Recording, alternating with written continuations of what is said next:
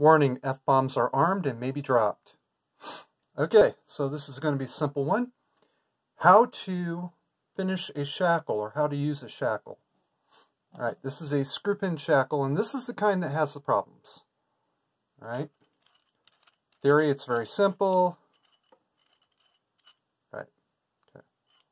Twist it on. It's called a screw pin for a reason. Now, it's on, it looks like it's ready. And here is the problem. The eye is not in line with the center.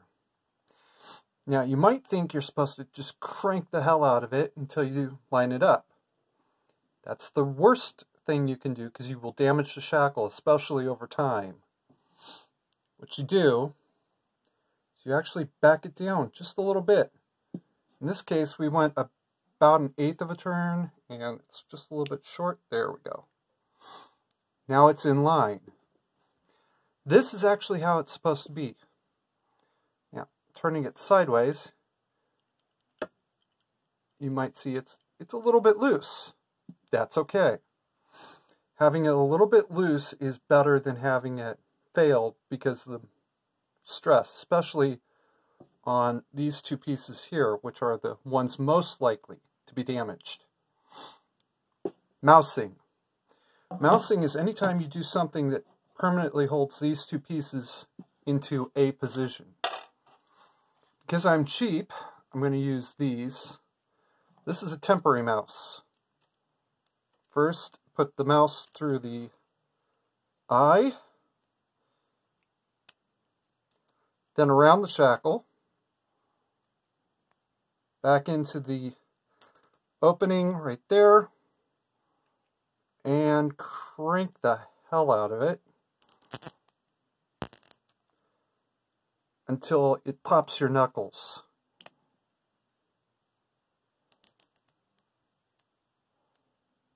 There. That is a temporary mouse. Might have it on backwards. But anyway, actually what it is, I have it on loose.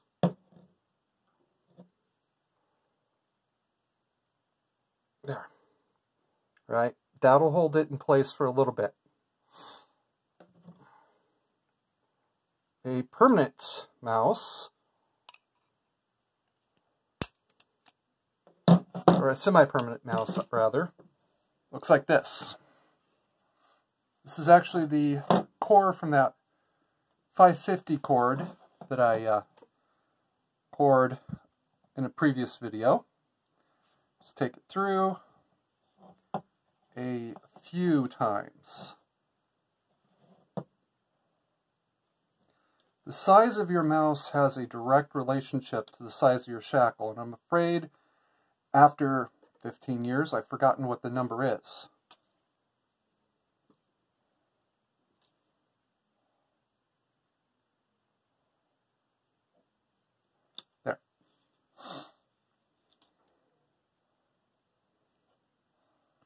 Okay, so you've taken it through the three times.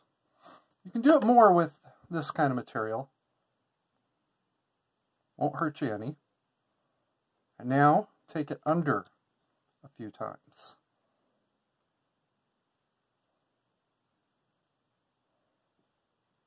I actually heard this referred to as a cross mouse, but I've never seen that written anywhere.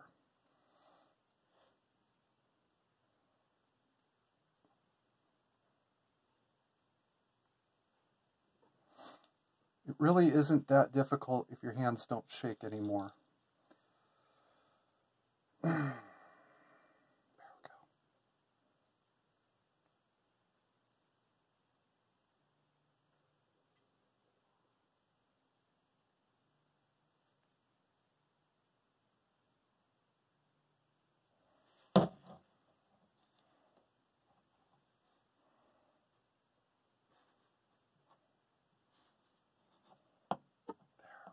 That's better. All right. And again the other way.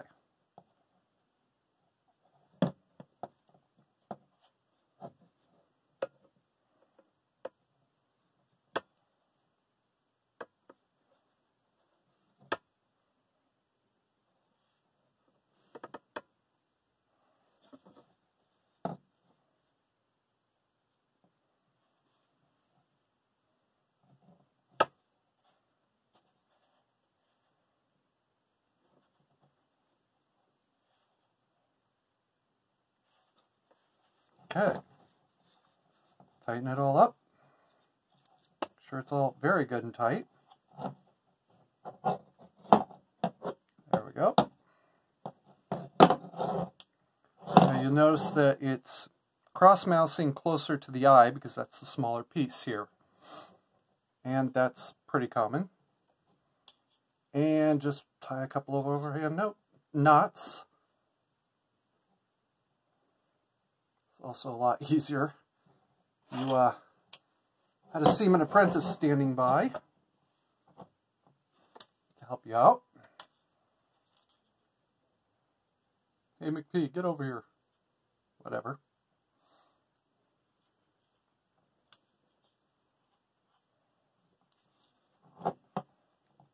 And that is a semi-permanent. Okay, it's not going to move.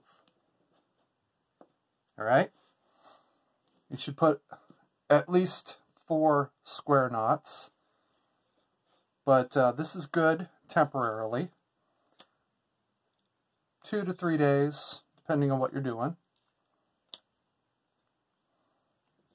Should never be used to permanently attach a shackle. Now, we're going to talk about that as I put the permanent mouse on.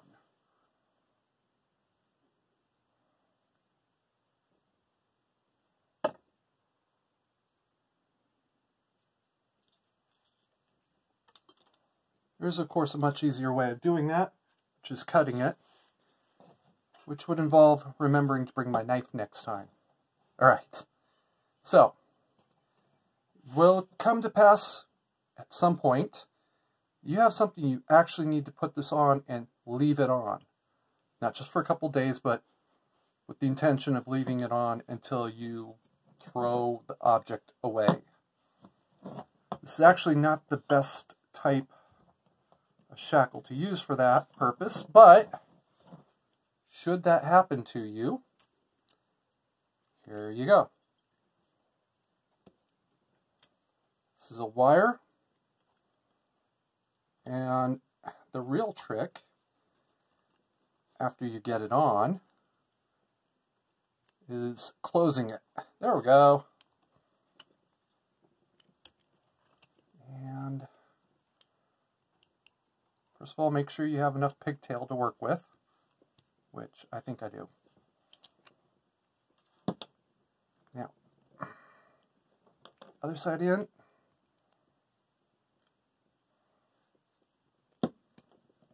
Work it down a little bit because this should be stiff wire. Give it a little bit of a twist. There we go. Now there's actually a tool made for this that I don't own. Looks like an ordinary set of flat nose pliers. Usually it does have the cutting edge on it. It also has a locking mechanism right here.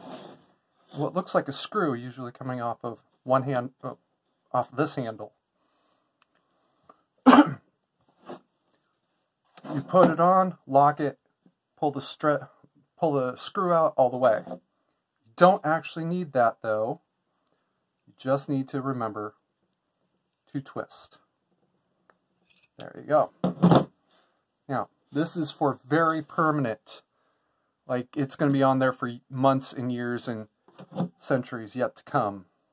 Archaeologists are going to find it and wonder what you were doing clip the pigtails off. And if you need to, flatten it out. There you go. That is a permanent mouse on a shackle. Remember, this does not need to be tight against here. Just needs to be as tight as possible and in line.